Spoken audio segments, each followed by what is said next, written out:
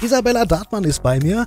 Äh, wie darf ich dich ankündigen? Lehrerin, Musicalsängerin, äh, Schauspielerin, äh, Komponistin, äh, Texterin, Musikerin. Äh, was, was darf ich sagen? Ja, das war jetzt schon alles richtig. Ah, Ja, also es ist, ja, ich, ich bin ganz froh, dass ich ganz viel mitbringen darf und, und, und kann und ja, auch im Musical auf der Bühne stehe und bald mit Stars, ihr Lieben, in Kempten.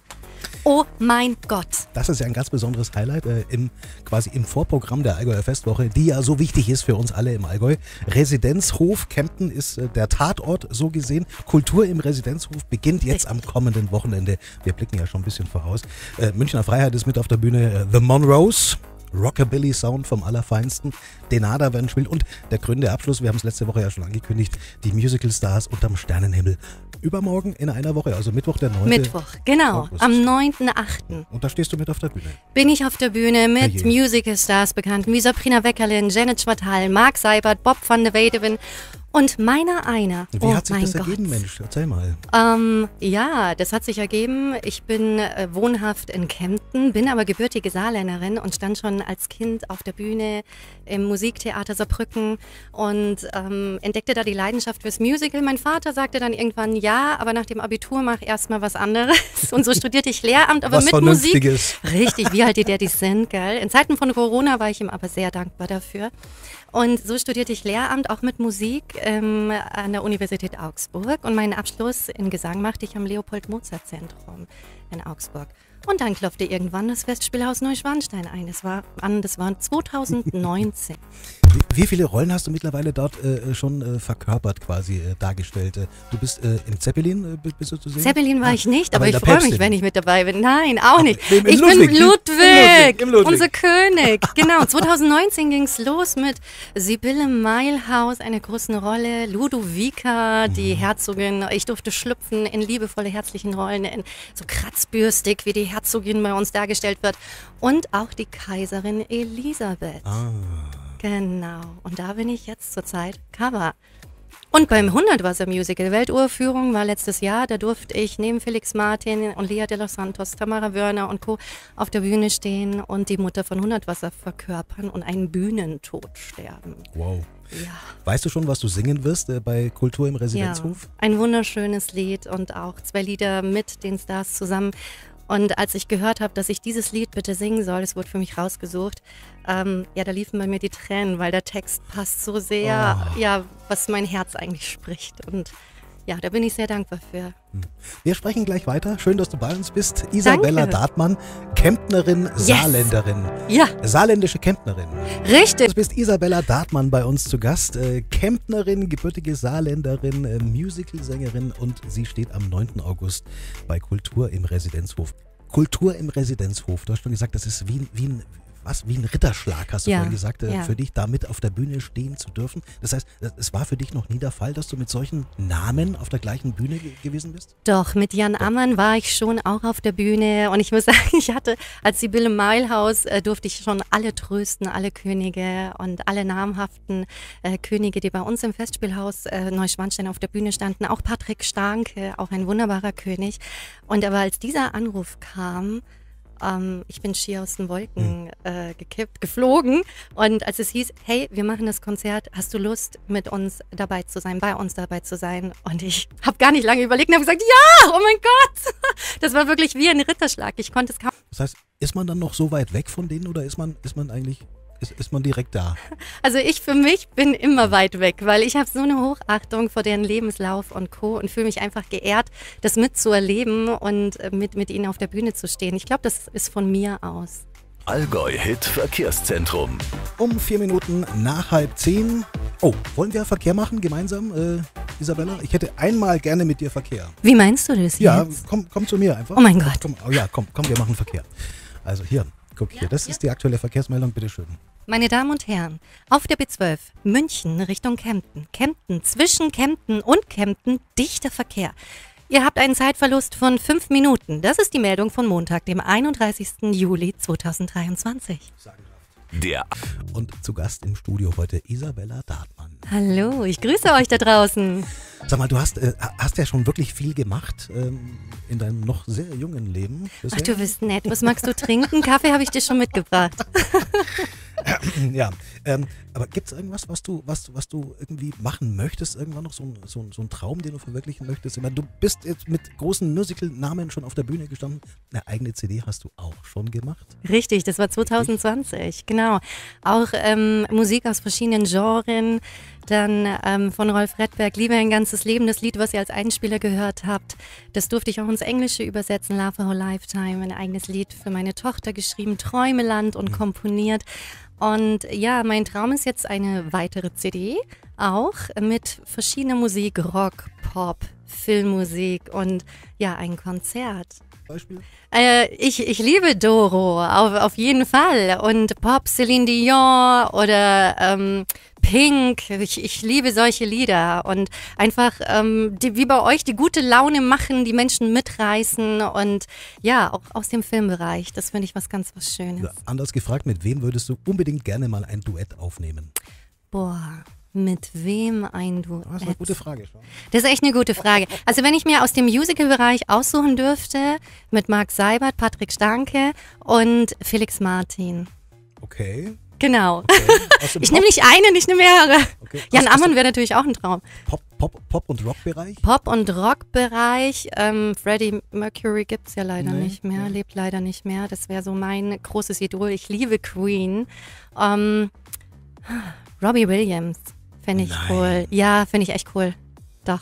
Let Mag me ich. entertain you. Yes, baby. Let me entertain.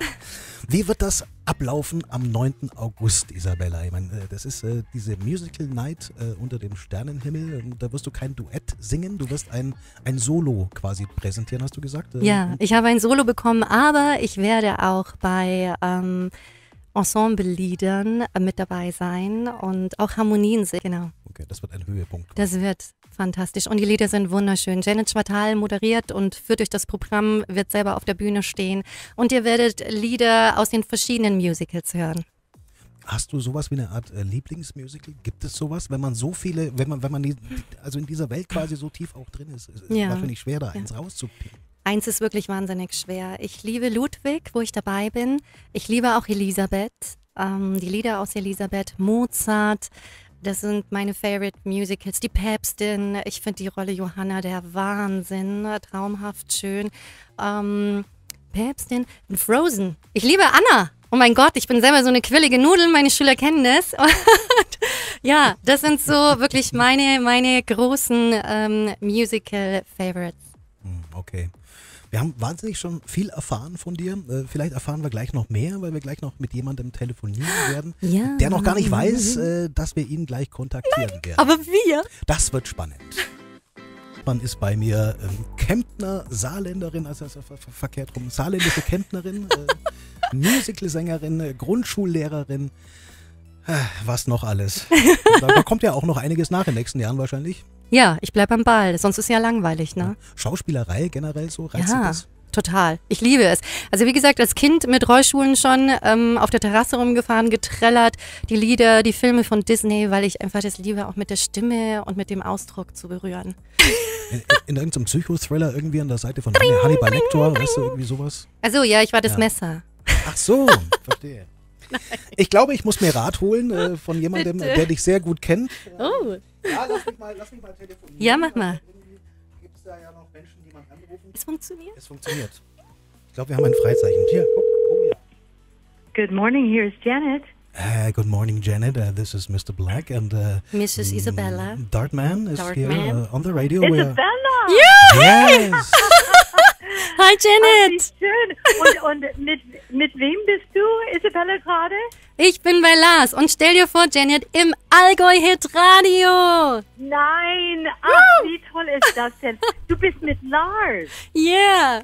Oh mein Lars. Gott. Oh mein Gott. Oh mein Wie Gott. schön ist das denn? Liebe Grüße, Lars. Sehr schön. Ich hoffe, dir geht's gut. Wir sind live on air, Janet. Ach, wie toll. Und ich freue mich sehr auch, liebes Publikum von Alkohol Radio. Wie toll ist das denn? Und, und perfektes Timing. Ihr habt mich gerade jetzt erwischt äh, zwischen Proben für mein Dream King Musical. Ach, stimmt doch gar nicht. Perfekt. Stimmt doch gar nicht. Du warst unter der Dusche gestanden. Gib's doch zu. Nein, die Genau, Janet ist so bin- fleißig. Genau. Alles gut, lass uns über Isabella reden. Also Isabella, ähm, du machst gerade ein Interview, oder? Ich habe etwas mitbekommen Ja, letzte ich, Woche, dass du das machst. Genau, hier in Kempten seit 9 Uhr. Und wir reden auch über, ja, unser Konzert im Musical Residenzhof. Stars unter dem Stern. Natürlich, ja klar, Kultur im Residenzhof. Was für eine tolle Idee, oder? Janet, jetzt muss ich dir noch eine Frage stellen. Natürlich, du wirst ja auch singen, natürlich am äh, 9. August, aber du wirst auch durch das Programm führen. Genau, ich bin ähm, mehr oder weniger ähm, Gast, Gastgeberin für Wow. das Konzert. Also die Sissy ähm, von Füssen äh, kommt rüber nach Kempten. Das ist eigentlich mein Lieblingshauptstadt im Allgäu. Und ähm, ich komme so gerne im Residenzhof und führe durch den Abend. Und es ist natürlich eine große Ehre, ähm, äh, diese als Möglichkeit äh, zu haben. Es ist, wird ein wunderbares Konzert. Ja, Darfst du ein bisschen mehr erzählen äh, über das, was äh, Isabella singen wird? Ja, ja, und Lars, du kennst mich und meinen Stil, also äh, die, den kleinen amerikanischen Touch wird auch dabei sein. Es gibt auf der Bühne äh, eine kleine Interview-Ecke. Äh, ich nenne das immer in Füssen ähm, Sissy Salon oder das Ludwig Lounge. Also hier in Kempten ähm, werden wir eine äh, auf jeden Fall eine Residenzlounge ähm, äh, installieren, wo ich auch mit die Darsteller zwischen diese absolut äh, Top-Welthits aus den größten Musicals auch interviewen werde, dass wir ein bisschen ähm, aus dem Nähkästen plaudern. Es wird auch in. Kempten passieren und es ist natürlich ähm, auch so schön für uns, dass wir Isabella als Local ähm, Heroine sozusagen, also lo Local Helden des, der Musical-Szene, auch mit auf der Bühne einladen können. Also Nachwuchskünstlerin kann ich gar nicht im Mund nehmen, weil die Isabella schon so viel ähm, äh, jetzt in der kürzesten Zeit erobert hat, hier in der regionalen Musical-Szene, ähm, auch als Botschafterin für Saarland und so weiter. Ist sie so aktiv unterwegs, auch in den Schulen, macht so viel, um Leute zu inspirieren, ähm, Musik in ihrem Leben zu haben. Und äh, deswegen haben wir gedacht, sie wäre eigentlich die perfekte Wahl, um Kempten zu repräsentieren hier beim Konzert. Ist sie auch. Und du musst aufpassen, äh, ich habe sie schon irgendwie, äh, ja, ich habe ich hab ja schon einen, einen Floh ins Ohr gesetzt, dass sie vielleicht irgendwie eine Karriere als, als Radiomoderatorin auch noch in Betracht ziehen könnte. Also, naja, man muss mal aufpassen. Das könnte sie auch bestimmt anstreben. Natürlich. Also äh, die Isabella hat viele versteckte Talente. Und ihr werdet auf jeden Fall das Publikum von ihre äh, äh, gesangliche Talente erfahren am 9. August, äh, am Mittwochabend nächste Woche, wenn wir die Bühne rocken in Kempten. Yeah! Wir freuen uns sehr. Janet, vielen lieben Dank und ganz liebe Grüße zu dir nach Füssen. Liebe Grüße. Werde ich Tschüss. Janet. Bis dann. Tschüss. Bis dann und viel Ciao. Spaß beim Dream King Proben.